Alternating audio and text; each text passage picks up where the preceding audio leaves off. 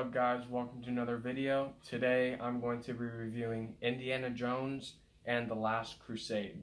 This film came out in 1989 and this is the third film in the Indiana Jones franchise.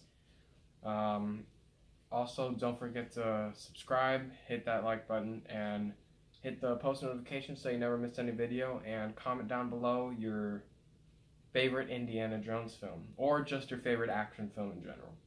So let's get started. So let's talk about the good.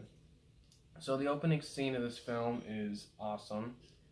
Um, the opening scene and the ending scene are very good because it establishes the characters. It establishes um, all the new characters that are in this movie, like Harrison Ford's dad, which is played by Sean Connery, the best James Bond, and he is he is the He's very funny in this film. He is very, very funny. Sean Connery is hilarious.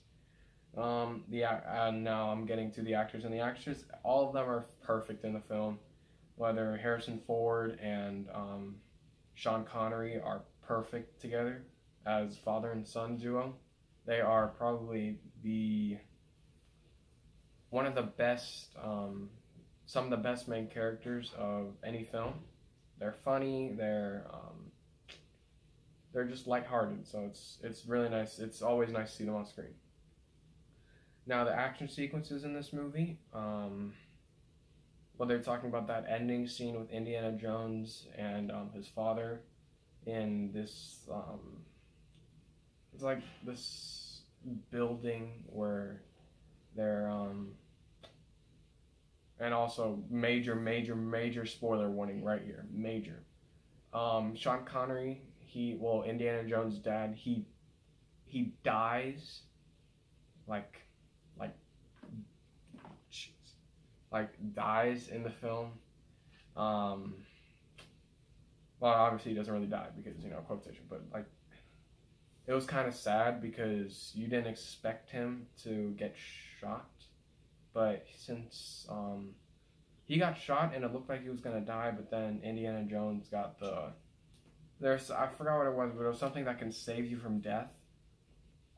And um, he got it, and he saved his father, and obviously his father's alive. So, yay.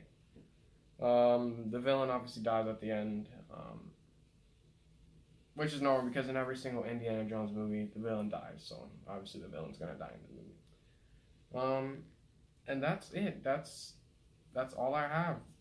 Very quick review. Um, this is the this is no actually this is my second favorite Indiana Jones film.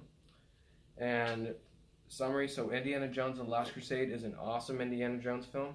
It has awesome action sequences, great characters, great character development, um, a great story, and a very sad death scene. Well, then again, sad death scene.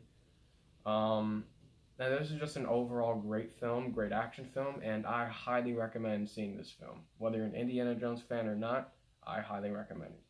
And I'm going to give this film an A. This is one of my favorite films of all time, and I highly recommend it.